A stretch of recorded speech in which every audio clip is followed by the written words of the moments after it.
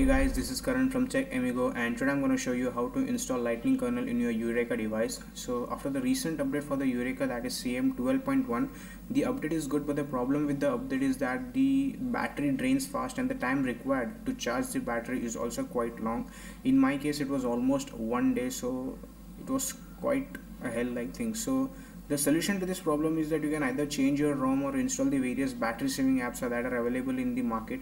But the one that I find most convenient and effective is that changing the kernel for the device. And the good part of this is that uh, Yureka has many kernels available in the market. Example, the Gods kernel, Accelerate kernel, Thunderzap, etc. But the one that I find most effective and convenient is the Lightning kernel. Uh, the lightning kernel is not developed by me but the team hsr the complete credit goes to them. So if you want to follow them i have left a link in the description below. You can follow them on the yu Playground forum. Uh, they provide a regular update for their kernel uh, in two to three months. That's the, and the best part of this kernel is that uh, the kernel is always stable. So you can install this kernel without any worry so before installing this kernel or any kernel you have to do the following three things. That is unlock the bootloader for your device root your device and install a custom recovery. So before installing any kernel you must be done with the following three things. Uh, so if you want to know how to do the following three things just comment in the section below. I will provide the video for the following three also.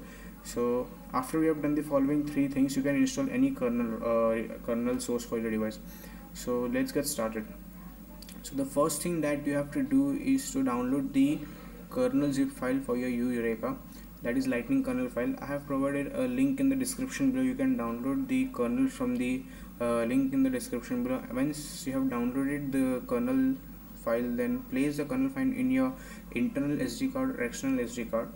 And once you have placed it boot your device in the fast boot mode. And I will show you how to do the following. Just follow the uh, steps that are shown so once when you're done with the three steps that is unlocking the bootloader, rooting your device and installing the custom recovery, just uh, follow the steps and install the lightning kernel. Uh, first download the lightning kernel zip file from the link in the description below and place it in your phone memory. I have placed my lightning kernel zip file into the external SD card. Let me just show you. File manager under SD card apps.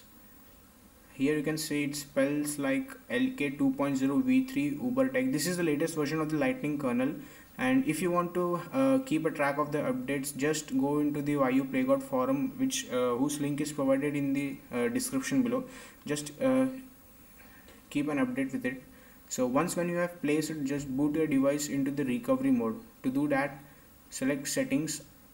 Under settings go into the developer option in developer option you will find an option called as advanced reboot.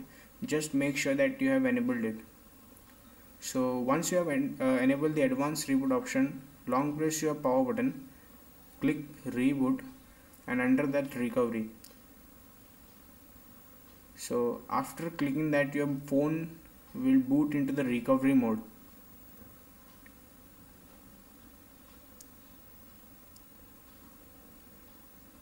so depending upon the custom recovery that you have installed I have installed TWRP recovery over CWM recovery because it is convenient and, and has more option. So once when you enter into the TWRP or CWM recovery mode the first step is to wipe the cache. So select the wipe option and enter that advanced wipe and just swipe after that it will clear your cache. So after this step you have to install the lightning kernel zip file. So locate your lightning kernel zip file wherever you have placed. I have uh, placed it in my external sd card. So i will just locate my external sd card zip file. Install external sd card apps and here it is. Just select that zip file and swipe to install it so now the lightning kernel zip file has been installed in your phone. After this the, the, the it is the most important step.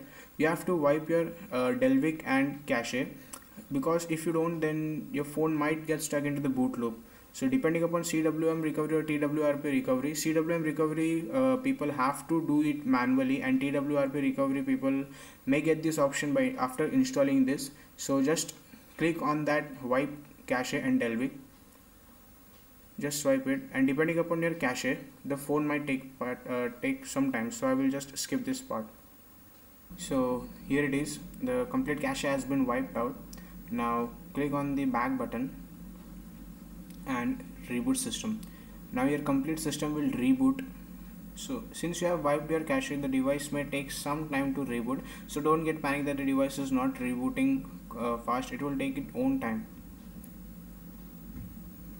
so now the device is rebooting uh, the, and it will optimize all your apps. So depending upon the number of apps that you have installed in your phone the optimization may take some time. Here it is. So I have total 145 apps in my phone so it will take some time. So I'll just skip this part and move on to the next part. So here it is. The lightning kernel is been installed in your Yu Yureka device.